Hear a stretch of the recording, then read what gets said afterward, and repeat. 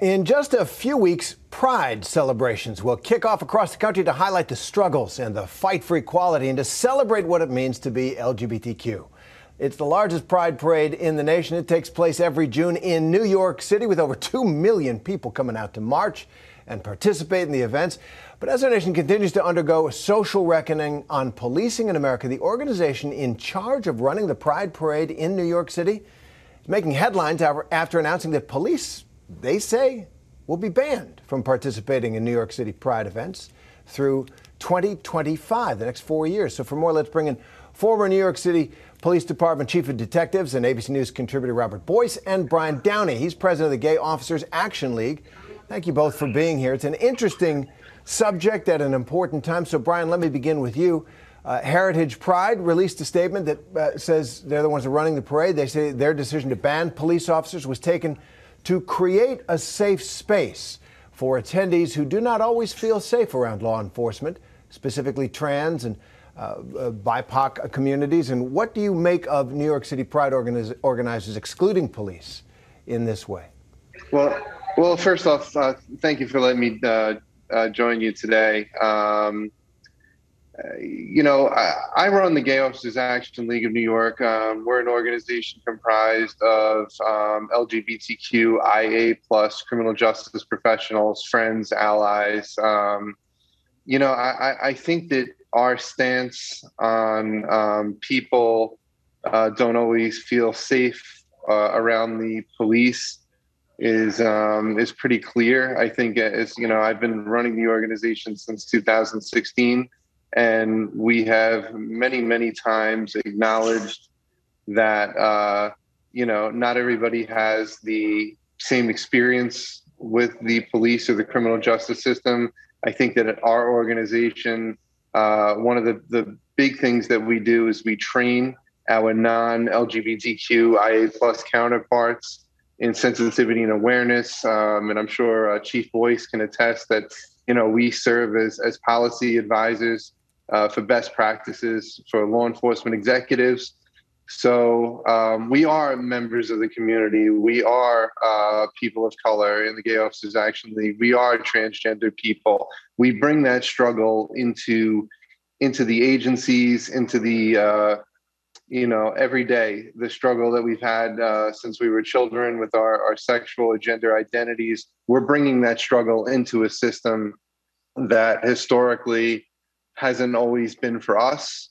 So I think to take the people that are doing that work out of out of this march uh, on the last Sunday in June uh, is a mistake, and it's and it's and it's hurtful to to these people who've done so much work uh, to advance uh, that cause.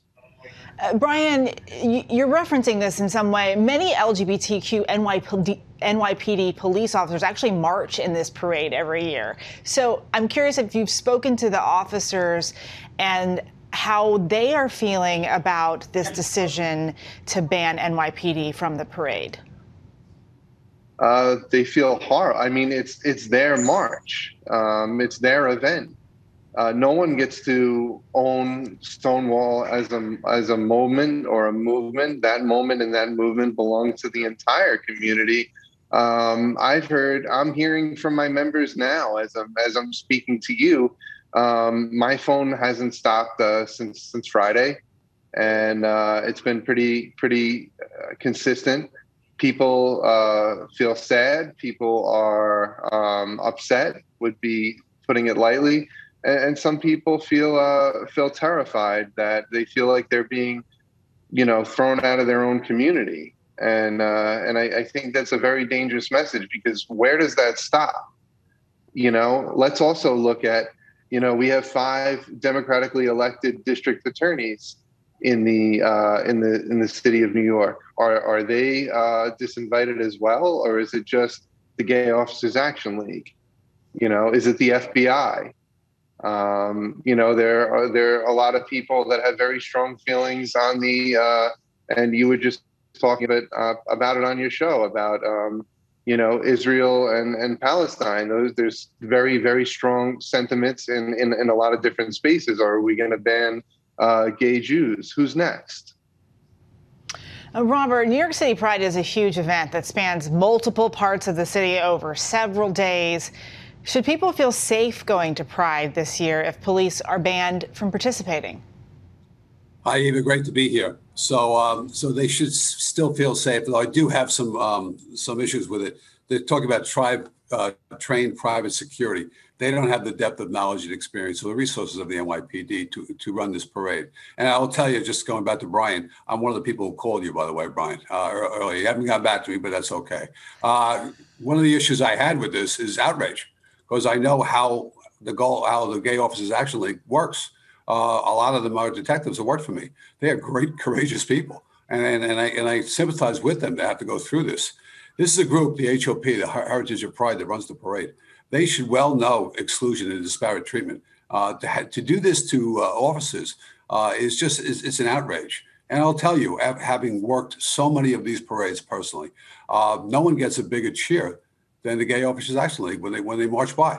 Uh, it, it makes no sense on so many levels because I've known what they've done and how they've furthered LGBTQ rights, how hard they worked, and what kind of heroes they are. Not only are they great cops, but they're great you know, humanitarians as well. So this this is just a failure. We're in the mi- middle of uh, the beginning, I should say, of the parade season in New York. It's a celebratory celebratory time, and to have the try to exclude the NYPD in any way is clearly a mistake and is an egregious mistake. You know, and Bob, uh, th- thinking back to the origins of the gay rights movement in our country, uh, the Stonewall riots back in 1969, uh, when LGBTQIA plus people in that bar just wouldn't take it anymore uh, as the police tried to bust up their, their gathering. More than 50 years later, uh, now we're seeing protests, you know, by people who simply don't feel they can take uh, the kind of policing of, of, of people of color in this country, the death of George Floyd and so many others who've died at the hands of the police. So it seems like we do have these crises. Do you feel that we move forward? Do you feel that, that whatever lack of trust there is between the gay community in New York uh, and the police uh, is, is, is better than it was? It must be, right? Of course it is. And it's 50, it's over 50 years ago, Terry. We've come so far since that time. I, I really, it's, it's impossible to put into words how far we've come how we worked in lockstep with the HOP on this parade. Uh, and I'll tell you, up until about two years ago, there was none of this. So I think there's some new change in, in their organization that has been asked for this. We're trying to get through this, this, this anti-police, defund the police mantra. It's not working. Crime is going through the roof. There's a real peril here in the city right now. It's a changed city. It's not the same. We need to all come together. We need new leadership to do that hopefully the um, the mayoral candidates understand that, and most of them do. At least the ones that are leading in the polls. That we have to get past these these old things and go forward, which we have. Brian has been a great detective for a long time. So, um, and I think he represents GOAL better than anybody. So to have, be exclusionary, to have all these things done, it just doesn't make any sense at all. And we should stop and come together. And it's time to do it. This the parade does not go off if it, you know, and uh, we're still under the mayor's executive order of no parades, but I think that'll change in a week or two. Uh, so we're still have time to get this changed, and I really hope we do. All right, it's a really important story, and we thank you both for helping us out with it. Former New York City Police Department Chief of Detectives and ABC News contributor Robert Boyce, and Brian Downey, President of the Gay Officers Action League. Thanks very much. Thank you. Thank you so much. Hi, everyone. George Stephanopoulos here. Thanks for checking out the ABC News YouTube channel. If you'd like to get more videos, show highlights, and watch live event coverage, click on the right over here to subscribe to our channel. And don't forget to download the ABC News app for breaking news alerts. Thanks for watching.